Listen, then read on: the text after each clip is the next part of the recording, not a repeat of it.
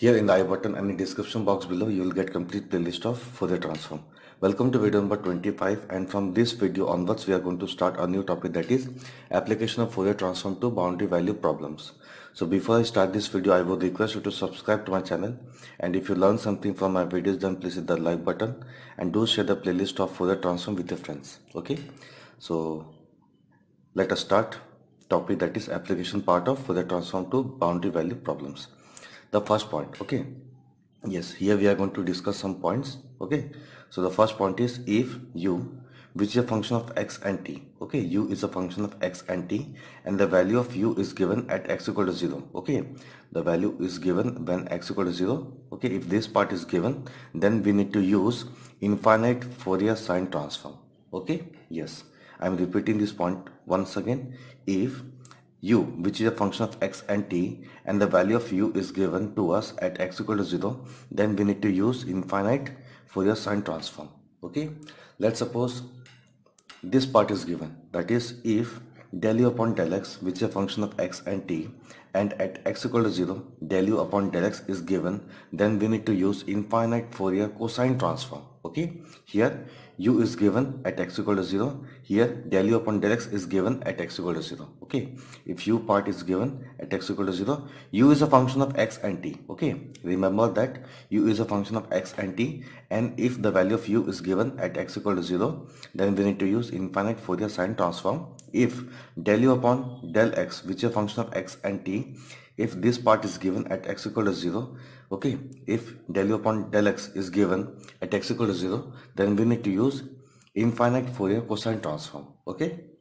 Now coming to the third point okay? Yes these points are very important because if you want to solve the problems on application part of Fourier transform then we need to use at uh, uh, which point what formula to be used okay? So coming to the third case that is if minus infinity to infinity. Okay if the limit of x is from minus infinity to plus infinity okay if this part is given then we need to use infinite Fourier transform. Okay if the range of x is from minus infinity to plus infinity then we need to use infinite Fourier transform. Now coming to fourth and fifth point.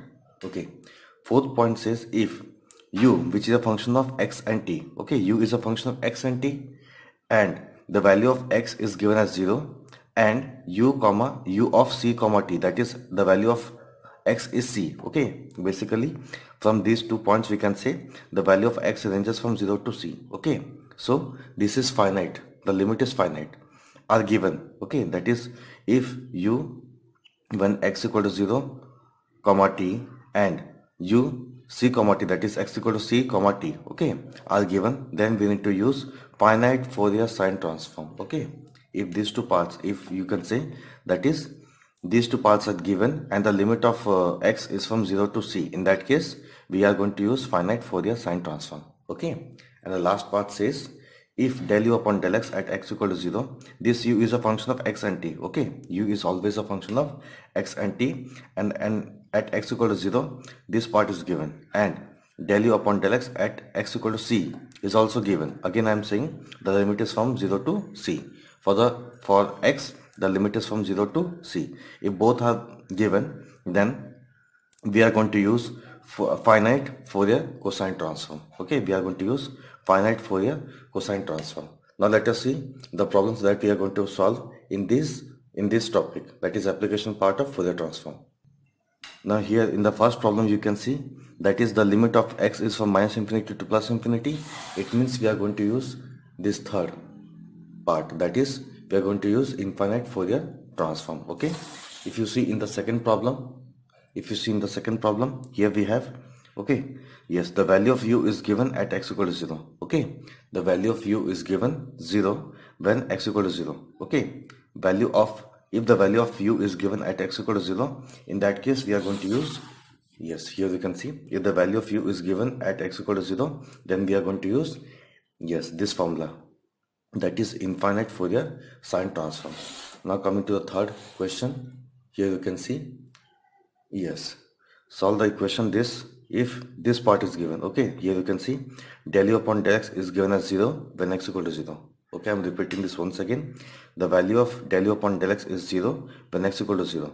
It means we are going to use the second part. Okay. That is del u upon del x at x equal to 0 is given then we are going to use infinite Fourier cosine transform fine? Yes. Now coming to the fourth and fifth part of questions. Yes here it is already defined that is using finite Fourier transform solve this okay? Yes here you can see given two condition that is u okay u is a function of x and t okay? The value of u is given when the value of x is 0 okay? And the value of u is given when the value of x is how much? C okay? So here you can see the the uh, the limit is finite okay? The limit is finite okay? And the limit of x ranges from 0 to 4 okay? So here i have said that is if this part is given that is u at x equal to 0 to x equal to c okay? If the value of u is given in both the cases when x equal to 0 and, and at x equal to uh, x equal to 0 and x equal to c in that case we are going to use finite Fourier sine transform. So in this problem in problem number 4 we are going to use yes that is Fourier finite finite Fourier sine transform in this problem. But if you see in the last problem here we have this part that is del u upon del x at x equal to 0 equal to 0 del u upon del x at x equal to 6 this value becomes 0 okay? So in this problem we are going to use this formula. That is if del u upon del x at x equal to 0 and del u upon del x at x equal to c which is 6 in the problem number 5 both are given okay? Then we are going to use finite Fourier cosine transform okay? I hope it is clear at uh, okay for which problem which formula is going to be used okay? So let us start solving problems one by one